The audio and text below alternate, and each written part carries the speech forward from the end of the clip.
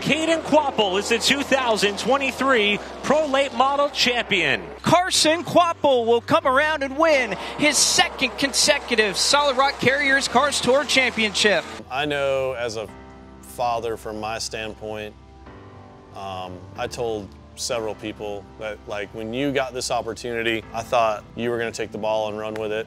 You were gonna shine. I've told people I felt like I was holding you back, you know, running our family car. It was, it's literally me and the boys working on our, our super late model or our pro late models out of our own shop. There's a lot of today's young racers that show up and they, they write a check to drive somebody's car every weekend. You know, I think we had the conversation that there was no way we were going to be able to do that. But we, as a family, could afford to buy some pretty decent race cars. But, you know, it was going to take a lot of work. Honestly, I, we made it quite easy for this guy right here. So, yeah. That's what, that is, that is Oh, one man. thing. I suffered for a while. Just from everything you guys learned whenever you're going through the, I guess, struggles, like you said, I was kind of just there, learned the most I could from what Carson would talk about in the car. Once I got in the car the first time, I kind of already knew what I was supposed to be doing. When we consider the names that have been behind the wheel of this car and the drivers that have piloted it and been successful in this series, Josh Berry stands out at the top of the list, and he's done a lot of stuff, and you still got a way to go to catch him.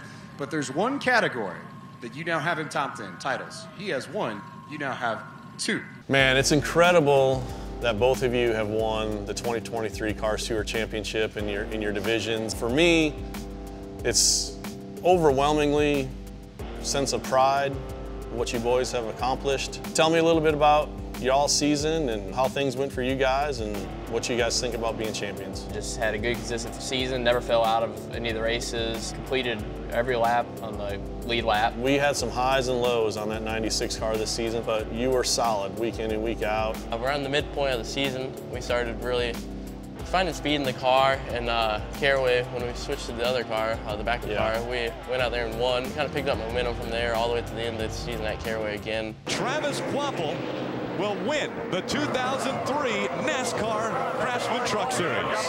I can't believe it's been 20 years since I've won my NASCAR Craftsman Truck Series championship. I can't imagine what it was like. Obviously, I was I was just barely born. So tell us a little bit about it. How you raced throughout the season was different. Man, it was down to the last laps, the last restart. Even after the race was over, the championship wasn't decided. When it was all said and done, I won the championship. Here we are 20 years later, and I got my two sons winning each a Cars Tour championship in the same season. They come out of turn number four to see the white flag. and problems with Kevin Harvick. He's into the wall. Travis Kvapil goes by the start finish line. He shows the caution and the checkered flag. And so the IWX Motor Freight Chevrolet gets its first win of 2003. One thing that was really cool this season was you went to Bristol for your first Craftsman Truck Series race, but it was 20 years ago I won that race. I wasn't worried about the truck at all. Uh, I mean, those guys obviously they always bring a lightning fast truck week in and week out. And uh, going into that one, I, I, it was kind of a big deal. You winning it 20 years that day, and I was I was really hoping to, to win it 20 years later. But uh, yeah, that was that was a pretty cool weekend. Um, hopefully, we, I can do some more here in the future. Long way from Madison International, isn't it?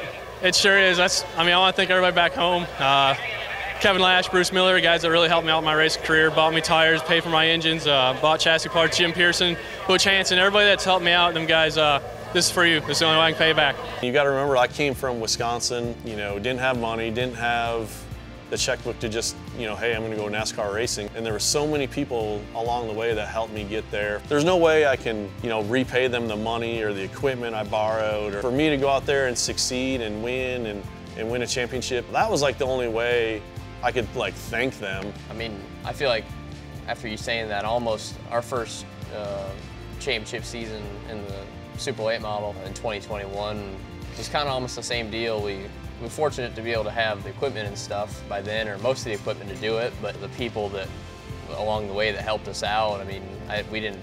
I don't think we paid anybody that year for, for coming to the track or when they'd come to the shop. Uh, I, I'm really proud of the, the work both of you guys have put in. You know, even if it ain't in racing, I've said this before, if you, you guys go down a different path in life, working hard and you know, being reliable and showing up on time and putting in the work, your guys are gonna be successful in anything in life.